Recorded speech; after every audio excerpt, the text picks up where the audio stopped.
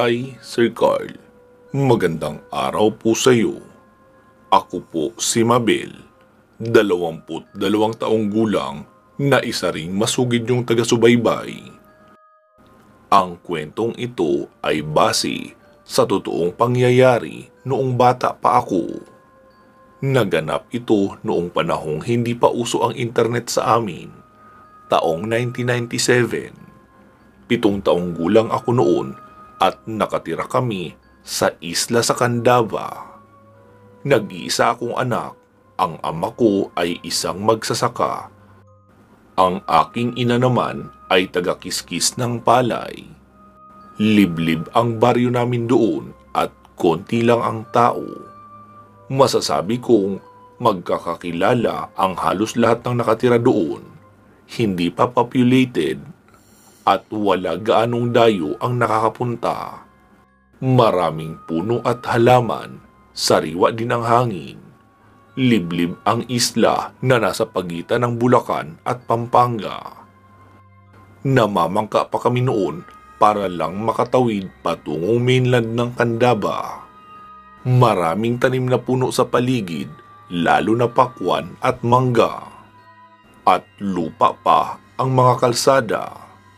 Sanay ang mga kabataan sa amin na akyatin ang puno ng mangga. Ginagamit din namin iyon bilang pahingahan bukod sa pagkuha ng mga bunga. Naalala ko tuloy bigla ang kabataan ko habang sinasariwa ko ang pangyayaring ito. Masaya kaming magkakalaro kapag sasapit na ang hapon ng biyernes dahil walang pasok sa kinabukasan. Maaari kaming magpuyat at pwede kaming maglaro ng maglaro sa labas. Basta wag lang masyadong lumayo. Ang saya-saya namin habang nagtatakbuhan at naghahabulan. Tinutulay ang pilapil at nanguhuli ng mga tutubi. Paminsan-minsan ay naglalaro ng piko at tumbang preso. Hindi ko makakalimutan ang isang biyernes ng gabi nang maglaro kami ng taguan. Iyon yata ang pinaka nakakatakot na nakita namin sa buong buhay.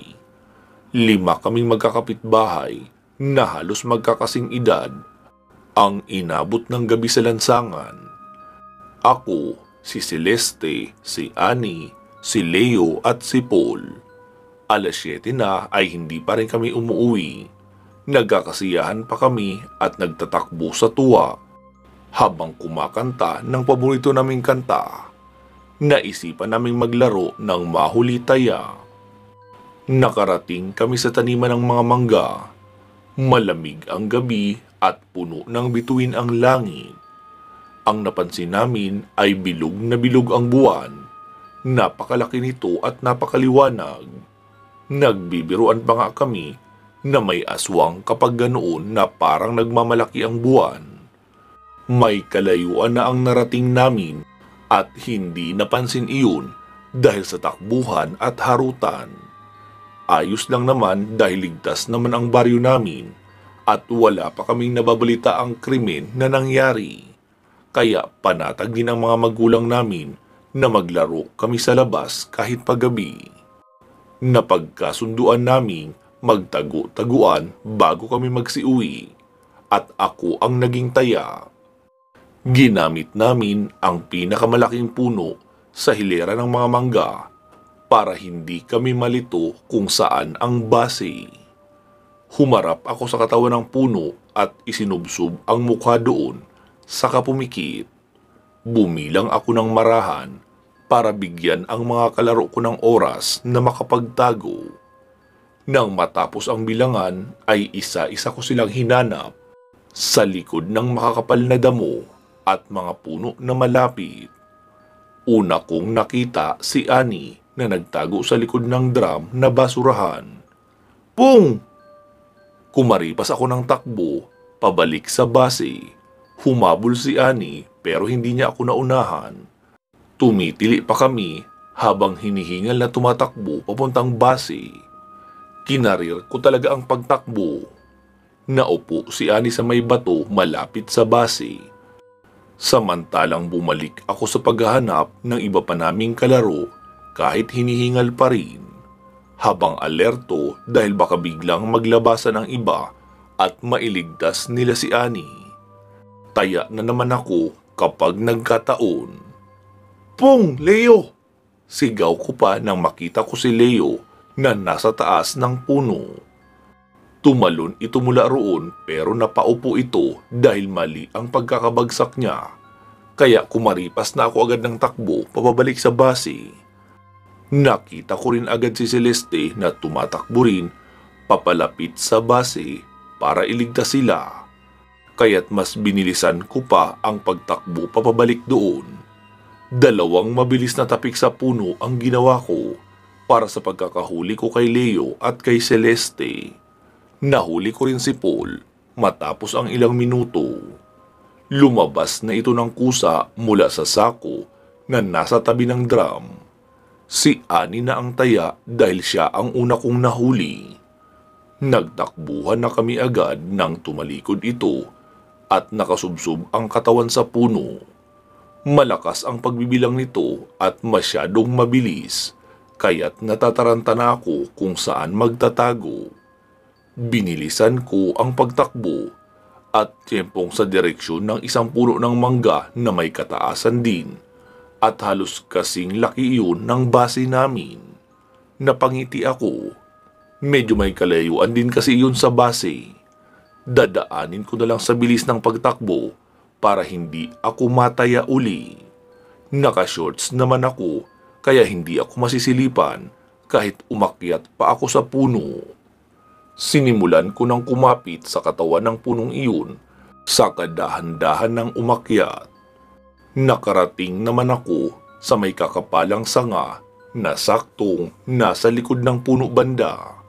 Hindi ako agad makikita ni Annie. Nakatago rin ako sa liwanag ng buwan kaya madilim ang pwestong napili ko. Dalawampu! Ayan ha! Marami na ang bilang ko! Sigaw pa ni Ani ng malakas habang tumatawa. Humanda na kayo! Andyan na ako! Uwi ka pa nito habang nagsisimula ng maghanap. Pinakiramdaman ko kung saan siya patungo. Hindi ko siya masilip dahil makapal ang katawan ng puno na aking pinagtaguan. Siguradong malalaglag ako kapag pinilit kong sumilip sa gilid. Naupo na lang ako sa may sanga at naghintay kung makikita niya ba ako sa punong napakalaki at may makakapal na dahon. Halatang alagang-alaga ang punong iyon ng may-ari na siya ring kapitan sa lugar namin. Ilang saglit na ang lumipas pero wala pa akong naririnig na sumisigaw ng pong. Napaisip tuloy ako kung saan nagtago ang iba naming kalaro kaya hindi mahanap ni Ani. Sumandal ako sa katawan ng puno para magpahinga at maghintay pa kaunti. Nasa ganun akong posisyon nang mapansin kong may bahagyang usok na dumaraan sa gawi ko. Napaisip tuloy ako kung may nagsisiga ba ng ganoong oras. Nilingalinga ko ang paligid na abot ng aking tingin pero wala naman akong nakita. Naaalala ko ang amoy na iyon, amoy ng isang tabako o sigarilyo. Napakatapang pa ng amoy na iyon, ibang iba sa amoy ng tabako ng lolo ko. Nanunuot sa ilong ang amoy kaya pakiramdam ko ay sisipunin na ako agad. Grabe naman magtabako iyon. Sobrang tapang. Mahinang reklamo ko pa. Pinindot-pindot ko ang ilong ko para hindi ko maamoy ang uso. Parang gusto ko na ring masuka dahil sa tapang ng amoy. Pong, Leo! Pong, Paul! Malakas na sigaw pa ni Ani. Napangiti naman ako dahil sa wakas pwede na akong bumaba at bumalik sa base. Nababahuan na kasi ako masyado sa amoy ng tabako. Dahan-dahan na akong bumaba at sinilip kung nasaan si Annie. Nasa base na sina Leo at Paul. Naghihintay na mailigtas habang nasa hindi kalayuan naman si Annie na naghahanap pa rin sa amin. Nag-isip ako kung oras na ba para lumabas at iligtas sila. Naamoy ko na naman ang tabako na sobrang baho kaya hindi na ako nagdalawang isip pa. Marahan na akong umalis sa puno para takbuhin ang base. Hindi ako napansin ni Ani na palapit na ako doon at huli na noong lingunin niya ako. Nasave ko na agad si Napol at Leo. Si Ani naman ay nagmamaktol dahil siya uli ang taya. Nagpapadyak pa nga iyon habang nakabusangot. Lumabas na rin si Celeste dahil tapos na ang round. Nagtawanan pa ang lahat dahil hindi siya nakita ni Ani sa kasunod lang din na puno ng mangga. Tumalikod na lang uli si Aning. Nagsimula ulit siyang magbilang habang nakapasubsob sa malaking puno ng mangga. Medyo pagalit na nga ang pagbibilang dahil mukhang napikon sa pagiging taya uli. Dahil siya uli ang taya kaya naisip ko agad kung saan ako pwedeng magtago. Bumalik na lang ako sa puno na pinagtaguan ko noong una dahil hindi niya naman ako nakita doon. Humagikik pa ako ng mahina habang papaakyat sa puno. Naisip kong titiisin ko na lang ang mabahong amoy ng tabako doon dahil ayokong maging taya at maghanap sa mga kalaro. Natapos uli ang malakas na pagbibilang ni Ani kaya naupo na ulit ako sa sanga ng puno at sumandig sa katawan noon. Kampante akong hindi niya rin ako makikita sa pwesto ko Napahagikik ako habang sapo ang bibig para hindi makagawa ng ingay. Ilang saglit lang ang lumipas nang sumigaw ng pung si Ani at sabay banggit ng mga pangalan ng mga kalaro namin. Yari ako. Tiyak na alerto si Ani kung saan ako lalabas. Posible ring hindi na iyon lumayo pa sa base para hindi na mapagod sa paghahanap sa akin at sa pagtakbo. Nag-isip ako kung lalabas na ba ako o hindi. Hindi naman ako magiging taya, pero gumagana na naman ang pagiging pilya ko. Kaya't naisip kong patagalin muna ang paghihintay nila at paghahanap ni Ani sa akin. Mabel! Lumabas ka na! Mahuhuli rin naman kita! Sigaw pa ni Ani. Makikipagmatigasan pa sana ako nang mapansin kong patindi ng patindi ang amoy ng usok na mula sa tabako. Maluha-luha na ako sa pagpipigil na maubo at makagawa ng ingay. Nagtataka na talaga ako kung saan nagmumula ang usok na iyon e wala namang nagsisiga sa paligid. Nang hindi ko makita ang pinagmumula ng usok dahil sa posisyon ko, ay nagpasya akong bumaba at lumabas na. Hindi na ako makakatagal pa sa amoy ng usok na iyon. Kakababa ko pa lang ng puno pero nalanghap ko pa rin ang usok na iyon. Dala ng kuryosidad ay sinipat ko ang paligid ng puno at mga sanga nito. Lumigid pa ako ng bahagya sa kabilang bahagi ng puno saka muling tumingala dahil baka may magsasaka lang doon na namamahinga at nagtatabako. Noong maaninagan ko sa taas ang isang nakaupong malaking lalaki. Hindi ko maaninag noong una ang mukha nito dahil may kadiliman sa gawi niya. Pero kita ko ang liwanag na nagmumula sa dulo ng tabako na hinihit-hit nito. Napansin ko rin na tila walang damit na pang-itaas ang lalaking iyon Parang pantalong itim lang yata ang suot niya at mukhang mahilig sa damit na may balahibo. Nakalawit rin kasi ang isang paa nito mula sa sangan na kinakaupuan at katamtaman ang liwanag na buwan na sumisinag sa kanya. Manong, kayo pala yung nagtatabako. Hindi na ako halos makahinga dahil sa amoy ng usok nyo eh. Reklamo ko pa sa kanya. Hindi sumagot ang lalaki. Naghintay akong sagutin niya ako habang nakatingala pa rin ako dito. Nang mapansin ko na bigla na lumabas ang dalawang pulang liwanag mula sa mga mata nito. Kumakabog na ang dibdib ko habang naninigas ang buo kong katawan at nanlalaki ang pakiramdam ng ulo ko dahil sa takot. Narinig ko ang pagtawa nito na nakakatakot na boses.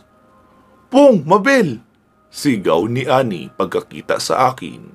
Pero natigilan siya sa tabi ko. Kapre! Sigaw niya pa at inalug-alug ako sa balikat bago ako hinila sa sando na aking suot. Nang hindi ako matinag ay hinila niya na talaga ang braso ko para madala ako. Napatakbo na nga kaming pareho habang naghihysterikal at sumisigaw si Ani ng kapre. Narinig namin ang malakas na kalabog mula sa likuran namin kaya nilingon ko pa ang puno. Bumaba na ang kapre mula sa puno at nakatingin sa amin habang papalayo kami. Napakalaki pala nito at mabalahibo ang buong katawan. Ang akala kong nakapantalo ng itim ay balahibo pala noon. Ha? Anong kapre? Tanong pa ng mga kalaro namin. Napalingon sila sa pinanggalingan namin. Namumutla at nagsilakihan ang mga mata. Hindi na nga ako lumingon pa uli dahil gusto ko nang makaalis agad sa lugar na iyon. May kapre! May kapre! Bilis! Uwi na tayo! Sigaw pa ni Ani at ng iba pa. Magkakasabay na nga kaming nagtakbo papauwi sa direksyon ng aming mga bahay. Noon ko lang nga napagtanto na napakalapit ko lang pala sa kapre habang naroon ako nagtatago sa sanga. Hindi ko lang siya napapansin dahil nakatalikod naman ako sa gawi niya. At hindi rin madaling mapansin ang kanyang itim na katawan. Papaano na lang kung sinaktan ako ng kapre na iyon habang naroon ako sa kanya malapit. O kinuha at inuwi sa kanyang bahay. Hindi ko na makikita sina inay at itay. Niyakap ko ang sarili ko dahil sa sobrang takot sa aking naiisip. Ikinwento namin agad iyon sa aming mga magulang.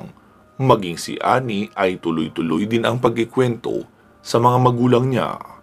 Kaya mula noon ay pinagbawalan na kaming lumabas lalo kapag gabi na.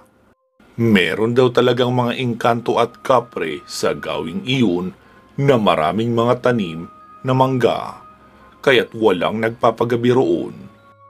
May isang pagkakataon pa raw na may unang nakakita sa kapre at maliwanag nilang nakita ang mabalahibong katawan ng nilalang.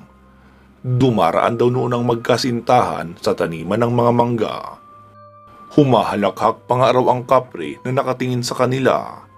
Nakita nila itong nakatayo sa tabi ng isang malaking puno habang nagtatabako. Kumaripas daw agad ng takbo iyong magkasintahan hindi daw iyon ikinuwento sa aming mga bata para hindi kami matakot at hindi namin mapanaginipan sa gabi.